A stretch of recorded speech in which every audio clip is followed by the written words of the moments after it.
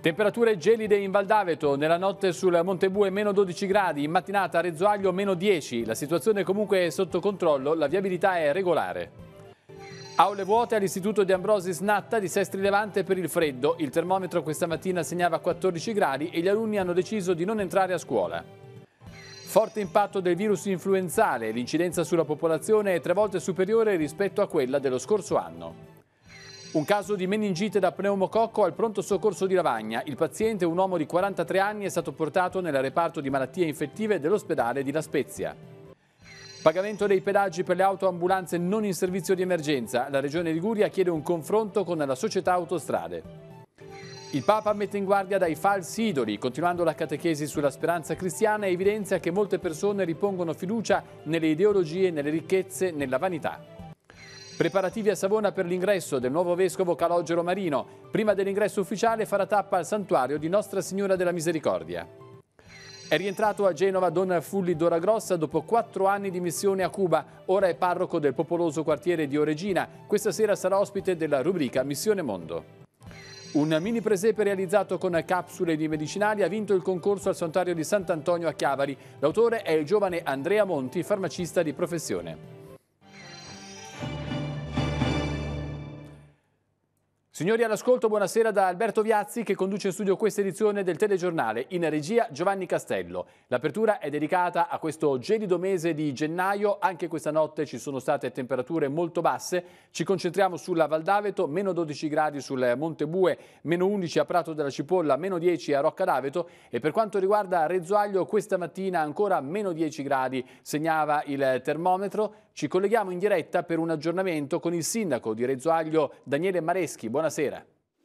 Sì, buonasera. buonasera. Situazione attuale, temperature e, e neve eventualmente? Ma allora, questa sera le temperature non sono particolarmente basse, siamo appena qualche grado sotto lo zero.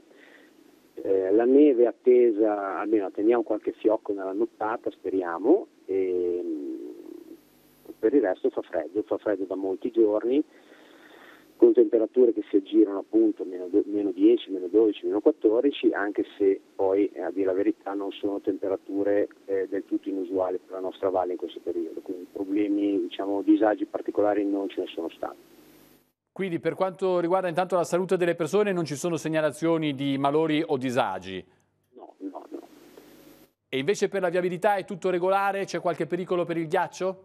No, viabilità è tutto regolare, ove necessario intervengono i mezzi spargisale, comunque la viabilità è garantita utilizzando chiaramente le normali cautele che si sono utilizzate nel periodo invernale, ecco, però non, non risultano strade ghiacciate e impercorribili, quindi assolutamente la viabilità è normale.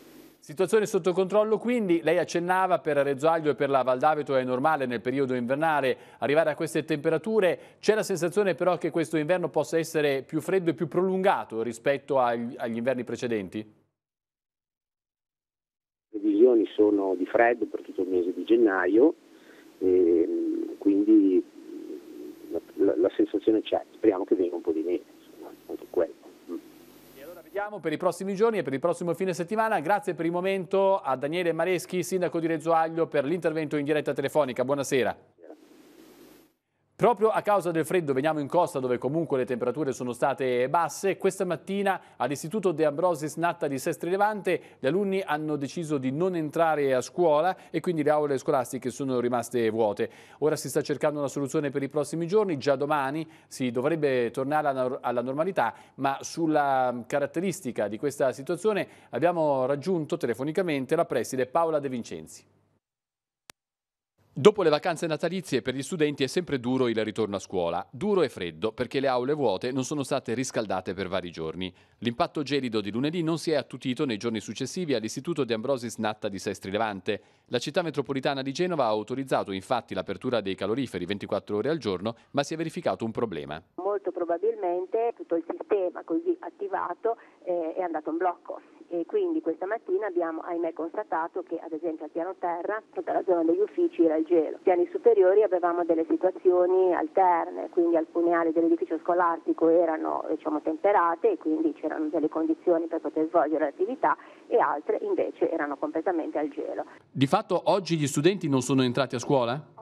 Gli studenti non sono entrati a scuola, nel senso che la scuola era aperta come, come presidio, abbiamo spiegato la situazione, peraltro il loro comportamento è stato molto corretto e equilibrato, anche in questi due giorni precedenti hanno compreso la situazione, hanno diciamo, sopportato nei limiti del possibile, però diciamo, giustamente se la temperatura scende al di sotto di un certo livello non ci sono sicuramente le condizioni ecco, per svolgere l'attività didattica. La temperatura all'interno dell'istituto di Ambrosis Natta mediamente si è attestata su 14 gradi, ovvero 4 in meno rispetto al minimo previsto dalla legge per lo svolgimento dell'attività didattica. Attualmente funzionano nuovamente gli impianti di riscaldamento? Allora, attualmente siamo sempre in una situazione diciamo eh, aggroviera, cioè in alcuni punti sì, in altri no, però io confido nell'intervento degli organi competenti, altrimenti domani siamo sempre nella stessa situazione. Io spero vivamente che le cose si possano risolvere e domani mattina riprendere normalmente le nostre attività. A Rapallo, viste le condizioni atmosferiche, il sindaco ha autorizzato ad ampliare l'accensione degli impianti di riscaldamento pubblici e privati da 12 a 16 ore giornaliere. L'ordinanza è valida sino al 23 gennaio. E naturalmente questo freddo sta portando a un picco dell'influenza. Sentiamo nel prossimo servizio l'esperto Giorgio Zoppi. I dati parlano chiaro. L'influenza 2017 metterà a letto milioni di italiani. Alcuni hanno già pagato lo scotto di una patologia che si è presentata più precocemente già sul finire dello scorso anno con caratteristiche più aggressive. Il virus ha circolato poco negli anni scorsi, per cui una larga parte di popolazione è scoperta dagli anticorpi e si ammala con maggiore facilità. L'incidenza maggiore tra i bambini e le persone al di sopra dei 65 anni per le quali possono esserci conseguenze più gravi eh, diciamo quello che eh, è il rischio, eh, soprattutto negli anziani, che da questa forma influenzale con questi sintomi si possa trasformare certo. in qualcosa di più grave, quindi non so, la polmonite per esempio influenzale è la complicanza più frequente che possiamo riscontrare nelle persone che hanno problemi di salute. L'influenza si presenta con febbre anche molto alta per due o tre giorni, dolori articolari, tosse insistente. Uno dei fattori di rischio per chi contrae il virus è che possa degenerare in polmonite, motivo per cui prosegue sino a fine mese la vaccinazione antipneumococco. Il dato significativo in stagioni epidemiche come quella attuale è quello dei decessi per complicazioni legate all'influenza. Dai 4 agli 8 mila persone moriranno a causa di complicanze di questa malattia. Sono persone anziane, sono persone le più fragili che eh, diciamo, se colpite soffrono sicuramente possono soffrire di complicanze che possono portare al decesso. La vaccinazione costituisce un buon deterrente, ma per chi avesse contratto il virus i rimedi sono semplici e di facile attuazione. Isolarsi. Si lavi spesso le mani perché anche questo è un buon sistema per ridurre eh, l'incidenza. Non intasi i pronti soccorsi contattare il proprio medico curante comunque che saprà dare tutte le indicazioni, non fare ricorso smodato agli antibiotici perché l'antibiotico non è necessario ma solo sintomatici, antipiretici eccetera qualche giorno di isolamento nei casi, nella grande maggioranza dei casi è sufficiente per eh, guarire. Sempre per la sanità, l'altra emergenza di questo periodo è la meningite. Oggi al pronto soccorso di Lavagna sono stati affrontati due presunti casi di meningite. Un primo ricoverato, un uomo di 59 anni, non è risultato affetto dalla malattia, ma da encefalite virale ed è stato portato nel reparto di neurologia dell'ospedale di Lavagna. Il secondo caso riguarda un uomo di 43 anni per il quale è stata fatta la diagnosi di meningite da pneumococco. Il paziente è stato trasferito nel reparto di malattie infettive dell'ospedale di La Spezia. Va segnalato che si tratta in ambedue le situazioni di forme non contagiose, pertanto non è necessario effettuare la profilassi con gli antibiotici. E ora parliamo sempre di sanità. Da un anno circa le pubbliche assistenze, quindi le autoambulanze che non sono in servizio di emergenza, in tutta Italia devono pagare il pedaggio autostradale. Ora la Regione Liguria vuole capitanare un'iniziativa per cercare di risolvere la situazione e ha chiesto un incontro alla società Autostrade. Esprime parere positivo Fabio Mustorgi, presidente della Croce Bianca di Rapallo. 218.000 euro che per una piccola realtà potrebbero provocarne la chiusura. La cifra corrisponde al mancato pagamento dei pedaggi autostradali da marzo 2015 a ottobre 2016. Dal 1 gennaio 2015, infatti, Società Autostrade non concede più il transito gratuito alle ambulanze che non sono in servizio di emergenza, un provvedimento incomprensibile per le pubbliche assistenze del Tiguglio. La legge che disciplina l'esenzione per le ambulanze e i mezzi di soccorso al pedaggio autostradale è del 1993 e ci siamo ritrovati ad una interpretazione è cambiata da circa due anni, non si capisce perché quando i servizi sono sempre a favore dei cittadini malati, tutte cose che eh, vengono considerate di pubblico servizio a favore della gente. La zona del Tiguglio è la più colpita. Le ambulanze che portano i pazienti sul territorio devono prendere per forza l'autostrada. Il problema peggiora se occorre raggiungere Genova. C'è un rischio che la norma di società autostrade comporta, che le pubbliche assistenze dichiarino il falso dicendo che sono tutte emergenze, svelendo però lo spirito del servizio. La Croce Bianca di Rapallo non ha inteso assolutamente cadere in questa situazione di ambiguità. Ora non capiamo perché un paziente che ha bisogno di una terapia riabilitativa, se portato dalla Croce Rossa, è esentato dal pagamento delle autostrade, se portato dalla Croce Verde, dalla Croce Bianca, eccetera, dovrebbe pagare l'autostrada. È evidentemente un qualcosa di incomprensibile e che secondo noi viola la legge. Ieri in Regione l'assessore Viale si è impegnata ad aprire un tavolo di confronto con società autostrade. Non ha neppure escluso l'ipotesi di chiusura dei contenziosi in corso, anche con una soluzione una tantum, della quale potrebbe farsi carico l'ente regionale. Speriamo che da questa prima dichiarazione seguano poi dei, dei fatti concreti. Io mi aspetto al più presto una convocazione per un tavolo tecnico per approfondire. Restiamo a Rapallo dove è in corso il dibattito sul piano urbanistico comunale. L'ASCOM eh, propone alcune soluzioni, la realizzazione di un eliporto, i sottopassi in via Milano e in via Torino, l'allungamento della passeggiata mare, nuovi posti auto sotto il campo di calcio in zona stazione e posti auto sotterranei nell'area del lungomare. L'Ascom chiede anche di destinare la zona di San Pietro a uso fieristico, di vincolare i cinema Grifone Italia a uso polivalente e congressuale e di vincolare a uso di parcheggio lo spazio dell'ex chiesa di Sant'Anna. L'Ascom vuole proseguire il confronto su questi temi con l'amministrazione comunale. E ora siamo agli argomenti di carattere ecclesiale. Il Papa, nell'udienza generale in Vaticano, ha continuato la catechesi sulla speranza cristiana. La Sacra Scrittura, ha fatto notare il pontefice, mette in guardia contro le false speranze e smaschera gli idoli nei quali l'uomo è tentato di riporre la sua fiducia.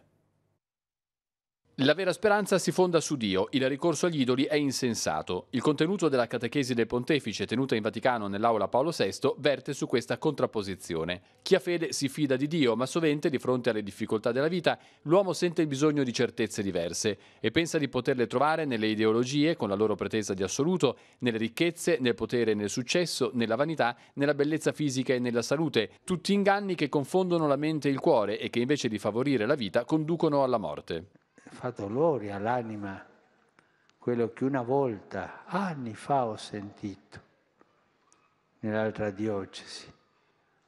Una donna, brava donna, molto bella, molto bella e si vantava della bellezza. Commentava come se fosse naturale. Eh sì, ho dovuto abortire perché eh, la mia figura è, è molto importante. Così.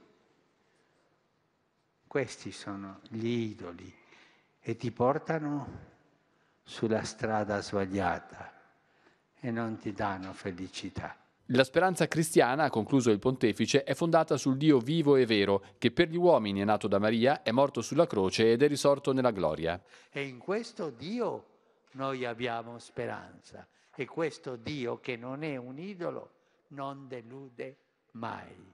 Al termine dell'udienza il Papa ha voluto ribadire che i biglietti per partecipare all'incontro sono gratuiti. Risulta però che alcuni truffatori facciano pagare i biglietti per entrare. Questo è gratuito. Qui si viene senza pagare perché questa è casa di tutti. Questa è l'ultima settimana in diocesi per Monsignor Calogero Marino che come è noto domenica prossima farà l'ingresso ufficiale nella diocesi di Savona. Tra l'altro proprio questa settimana Don Gero sta conducendo la rubrica La parola del Signore eh, per la presentazione del Vangelo del giorno successivo. Noi andiamo a conoscere meglio la diocesi di Savona eh, che, avrà, che, ha una forte connotazione mariana, tant'è vero che per l'ingresso di Don Gero Marino è stato scelto di eh, fare una eh, tappa anticipata al santuario di Nostra Signora della Misericordia. È forte la tradizione mariana a Savona. La diocesi venera Nostra Signora della Misericordia, un riferimento che Monsignor Geromarino non ha mancato di sottolineare. E al santuario dedicato alla patrona della città, il neovescovo si recherà in visita domenica mattina, prima ancora dell'ingresso ufficiale. Dopo la visita di Benedetto XVI è stato proclamato santuario di tutte le confraternite d'Italia. La Vergine è apparsa nella Valle del Timbro il 18 marzo 1536. Mentre un umile contadino eh, è nella sua vigna a rincalzare del filari della vite, vede un grande fulgore, cade per terra quasi tramortito e sente una voce che dice levati, alzati e non dubitare io sono Maria Vergine. Dice misericordia e non giustizia, cioè non vendichiamoci, stiamo in pace anche anche se ci sono stati questi trascorsi di guerra, no? bisogna adesso recuperare la misericordia, la Madonna della misericordia.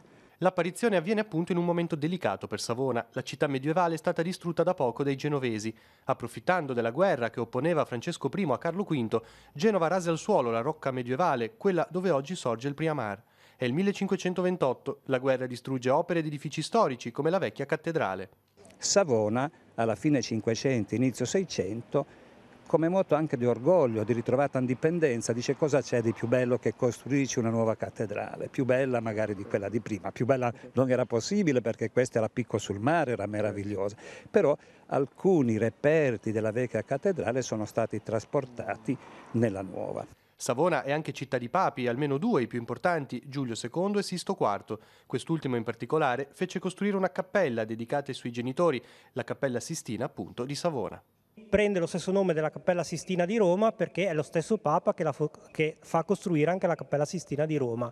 Eh, vedete in realtà un ambiente non rinascimentale ma rococò perché nel Settecento è stata completamente rivisitata da Francesco Maria della Rovere, che era un discendente, ma sotto tutto quello che voi vedete si potrebbe ancora vedere la Cappella Sistina rinascimentale, proprio quella commissionata da Sisto IV. Dopo la pausa natalizia è tornato Il Cittadino, il settimanale cattolico dell'Archidiocesi di Genova. Vediamo insieme la prima pagina che ci riporta al Tedeum di fine anno. La Chiesa e la città nel 2016 hanno segnato il congresso eucaristico, ora si attende il Papa. Poi accanto vediamo la lettera del cardinale Angelo Bagnasco ai genitori, scegliete l'ora di religione per i vostri figli, tema che approfondiremo la prossima settimana. E poi i bimbi in prima fila alla Marcia della Pace, a seguire la festa dei popoli nel segno dell'accoglienza. In fondo alla pagina una riflessione del vescovo ausiliare Monsignore Nicolò Anselmi sul Natale, la preghiera efficace medicina dello spirito e ancora il programma per la prossima settimana con il dialogo tra ebrei e cristiani e la settimana ecumenica. E a Genova è tornato a fare il parroco Don Francesco Fulli Doragrossa dopo quattro anni di missioni a Cuba. Il sacerdote, da poco più di un mese, è alla guida della popolosa parrocchia della Provvidenza nel quartiere di Oregina. Questa sera sarà protagonista della rubrica Missione Mondo in onda dopo il telegiornale. Ecco un'anticipazione. È tornato a Genova da poco più di un mese Don Francesco Doragrossa. È parroco di Nostra Signora della Provvidenza a Oregina, ma sulle spalle ha ancora la polvere dei barrios di Cuba e nei bagagli il ricordo di quattro anni di missione. Dal 2012 al 2016 Don Fulli, come lo chiamano in molti, ha guidato la parrocchia di Esperanza, un paese di 15.000 abitanti a diversi chilometri di distanza da Santo Domingo, sede della missione interdiocesana Ligure che accomuna Chiavari, Genova e Savona una parrocchia di 25.000 abitanti, una parrocchia lunga 25 km e larga parecchio, in mezzo alle canne da zucchero, in mezzo alle coltivazioni, con tantissimi campesinos, una parrocchia che era da alcuni anni, eh, come dire, scoperta e da molti anni con un avvicendamento di preti uno dietro l'altro senza una grande continuità. Il compito di Don Francesco Doragrossa è stato quello di riallacciare i fili della comunità, con l'ascolto, con l'essere presente e, a poco a poco, con l'uscire dai confini, per fondare nuove comunità cattoliche. Cuba sappiamo che ha molti problemi di trasporto, la gente non si può muovere facilmente, quindi è la Chiesa che va. Va in mezzo ai campi, va in mezzo a posti che sarebbero sperduti, e eh, bussa alle porte per vedere se ci sono dei cristiani, dei cattolici che hanno voglia di ascoltare la parola di Dio e che hanno voglia di riunirsi, di incontrarsi. Nella puntata di questa sera di Missione Mondo, il sacerdote disegna una Cuba che si è dimenticata le sue radici cristiane. Gli ultimi 60 anni hanno offuscato una base che pure sopravvive. Abbiamo fatto delle esperienze di questo tipo. Padre, non andiamo là in questo barrio, in questo paesino, perché lì non ci sono cattolici, non c'è nessuno, sono tutti di altre chiese. Vabbè, però andiamo, andiamo a bussare le porte, andiamo a vedere se è vero o non è vero questo. E eh, misteriosamente tutti si dichiaravano cattolici, tutti si dichiaravano eh, amanti della Virgen della Caridad e sono fiorite 12 comunità che sono state una cosa bellissima. Sempre per la nostra programmazione, questa sera si apre un nuovo ciclo della rubrica Conosciamo la Bibbia, condotta dal biblista Don Claudio Doglio. Ciclo incentrato sul Vangelo di Giovanni, questa sera il titolo Un Vangelo simbolico. E ora vediamo l'appuntamento annuale con il concorso dei mini presepi che si realizza a Chiavari al santuario di Sant'Antonio.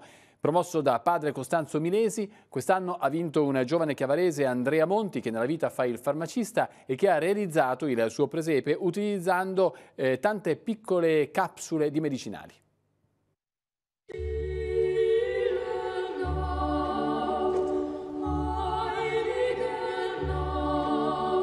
Nata l'idea di realizzare un presepe con dei farmaci?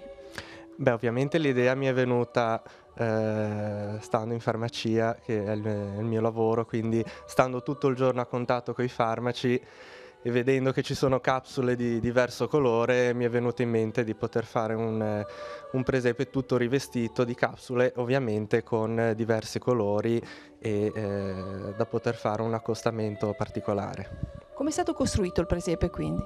Sotto c'è una base in legno e, e, poi è stata fatta la base in colla per poter eh, rivestire e incollare tutte le varie capsule. Quanto tempo hai lavorato per questo presepe? Io ho iniziato ai primi di settembre e a metà novembre avevo finito, quindi un paio di mesi eh, ci sono voluti.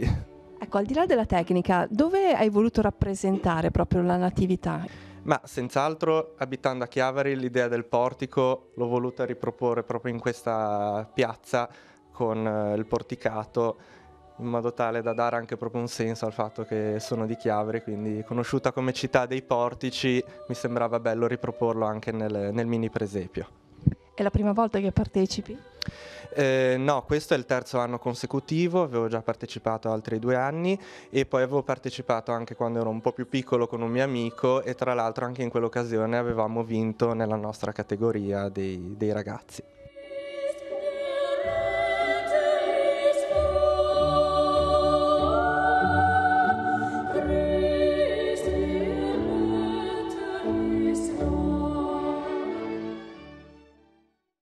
Complimenti quindi al giovane Andrea Monti che ha ricevuto la passione per il presepe da suo papà Emilio, il compianto Emilio Monti, insegnante di arte.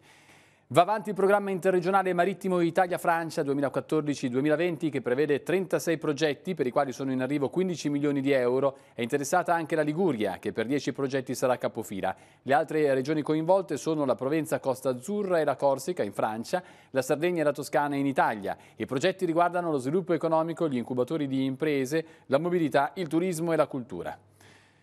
E ancora per la cultura, preziose opere della civiltà assira saranno esposte a Genova nel Museo di Archeologia Ligure. Sono bassorilievi che facevano parte di alcuni palazzi recentemente distrutti dai fanatici guerriglieri in Iraq, in particolare dei palazzi a Nimrud e a Khorsabad. Gli jihadisti hanno compiuto un vero e proprio attentato all'identità culturale di interi territori. L'esposizione sarà inaugurata al Museo di Archeologia Ligure venerdì prossimo 13 gennaio alle ore 15.30. I tre bassorilievi rimarranno in mostra sino al 18 giugno. Le tre lastre assire furono donate all'Università di Genova nel 1860 dal missionario domenicano Luigi De Negri di Montalde che viaggiò a lungo in Oriente. E adesso per la giornata di domani vediamo quali sono gli appuntamenti in agenda con Emanuela Castello.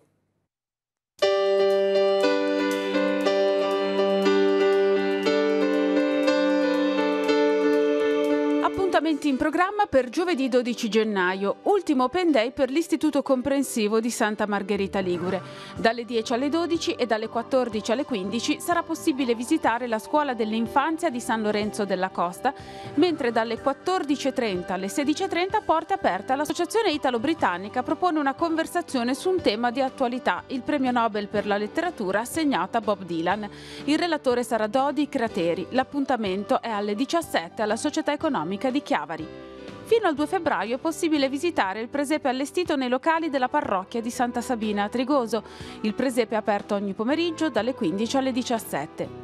Il centro di educazione ambientale del Parco dell'Aveto propone per sabato 14 gennaio una escursione dalle casermette del Penna a Moglia Negretta attraverso la foresta. Il punto di ritrovo è alle 9 di fronte alla sede del parco a Rezzoaglio. Prenotazioni entro venerdì allo 0185 34 33 70.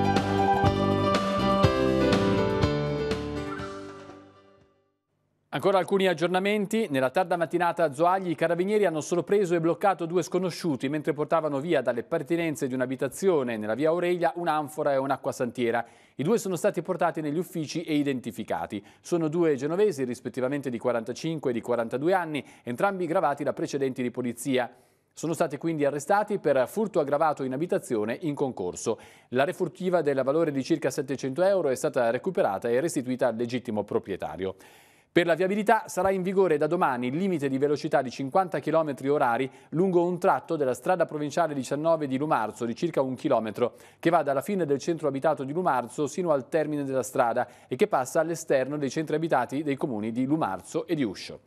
E poi per il prossimo fine settimana ci saranno importanti modifiche alla viabilità a Chiavari per la tradizionale fiera di Sant'Antonio Molte entreranno in vigore dalle 8 di venerdì 13 gennaio e resteranno vigenti sino a mezzanotte di domenica 15 gennaio. In particolare segnaliamo i doppi sensi di marcia nella carreggiata di Levante di Viale Casman, in Corso Lavagna e in via Fabio Filzi. Poi ci sono altri provvedimenti che scatteranno nella serata di venerdì con inizio alle ore 20, ma nei telegiornali di domani vi daremo informazioni più dettagliate. Siamo giunti così al termine di questa edizione del telegiornale serale, tra poco le nostre rubriche incominciando da Missione Mondo. L'informazione tornerà domani con il TG13 a partire dalle ore 12.45. Vi ricordiamo alle ore 7.30 il buongiorno di Teleradio Pace con Marco Revello. A tutti grazie dell'attenzione e buon proseguimento di serata.